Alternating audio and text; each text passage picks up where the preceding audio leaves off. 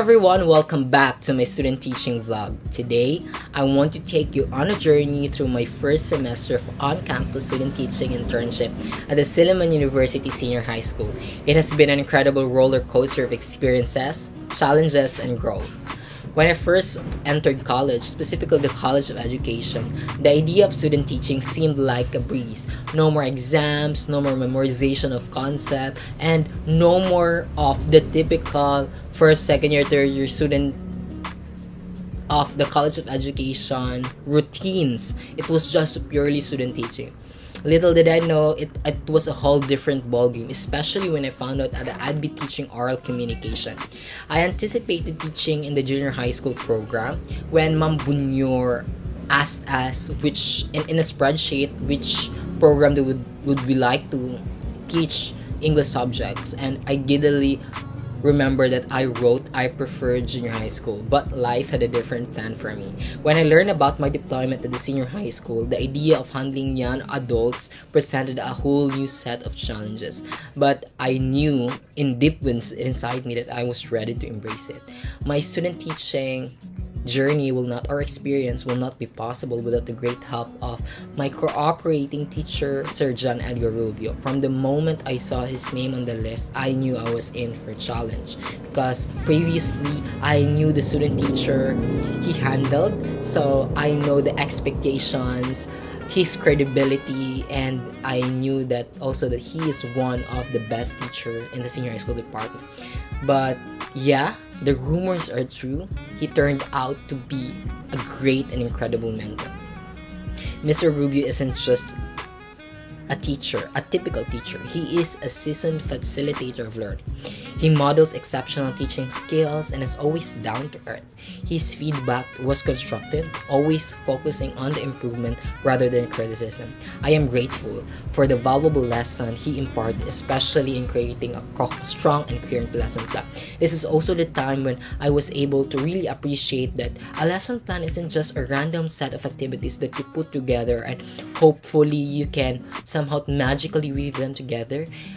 This is the time I learned that a lesson plan is a careful selection of resources or activities and ensure that these activities is connected, related, and somehow build up to the practice and later on prepares them for the assessment period. So I am really thankful that Sir Rubio modeled this and trained me really well to craft a good good lesson plan that satisfy the objectives of the lesson.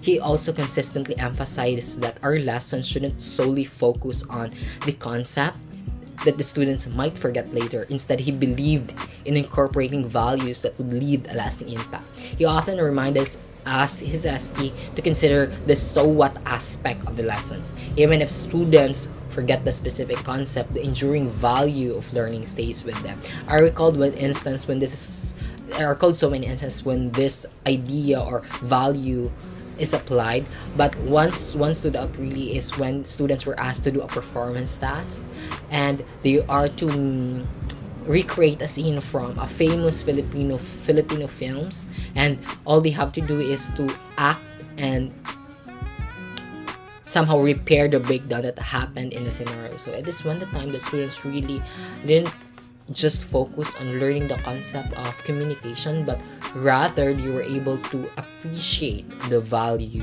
the so what of learning that concept because they are able to really apply and bridge the gap and repair the communication breakdown that's handed to them. So that's a good, good way of incorporating values in lesson. But then came my reality check. Managing a classroom full of diverse students wasn't easy as I thought. Teaching isn't just about delivering a lesson, it was about managing a classroom full of diverse personality. I can also recall that Sir Rubio didn't provide us with so many many many things so many many notes when we had our first student teaching. I i, remember i thought about verbal and nonverbal communication and he just said go and explore the classroom first and after that i will give you my feedback and my comments. So when i jumped into the class ready to discover the first student teaching experience that I had, I was really um, blown away by the idea that teaching isn't really just about delivering or reporting a lesson to the student. It's more than that. You have to manage students with diverse personalities and some students pay attention others are not and it's up to you to implement strategies that could somehow target to student to listen to you and manage the whole classroom. So it's really a revelation for me. There are silent sections, there are partic- participative sections. Each day brought a new challenges. But what I learned the most was that teaching is not a one-way street. I was learning from my student as much as they are learning from me. I was also surprised when I do lessons when I ask students to give an answer, there's a good specific unique perspective that these students give and other students also adds.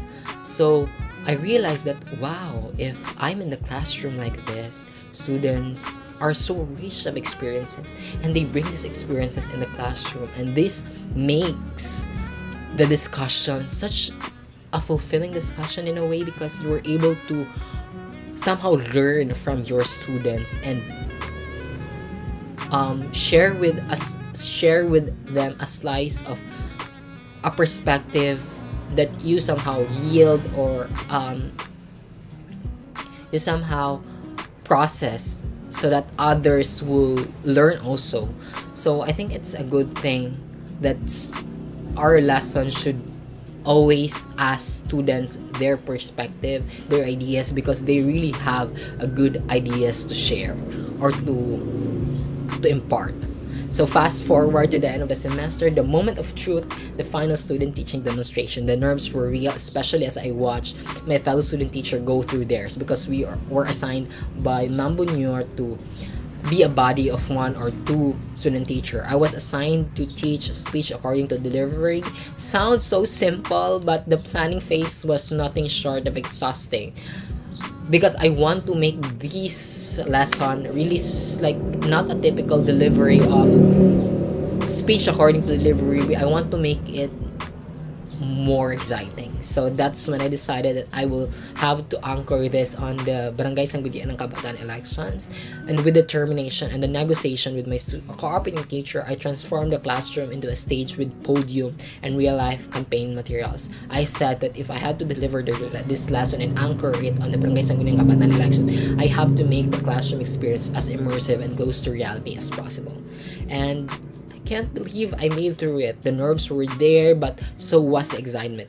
I owe huge thanks to my panelists, Dr. Bunyor, Dr. Katan, Mamayla, and my cooperating teacher, Sir Rubio, for their support and constructive feedback. It's moments like these that make you realize the importance of continuous improvement, and I will take good note of their comments and suggestions and I will ensure that I will be able to implement or to to improve them in the next semester of student campus student off-campus student teaching so also I would like to give a shout out to the College of Education for the invaluable trainings from navigating the online platform to the lessons and lesson planning and curriculum mapping. These sessions were instrumental in shaping my teaching approach this semester. So that wraps up my first semester of on-campus student teaching at the Silliman University Senior High School. I am grateful for the experiences, the challenges, and the growth. And next semester, I'm heading to the public school and I can't wait really to apply all the lessons I've learned. Stay tuned for more adventure in teaching. Until then, I will be staying in touch with you through my weekly vlogs and wish me luck for my next semester of student campus teaching. Until then, happy teaching. Bye!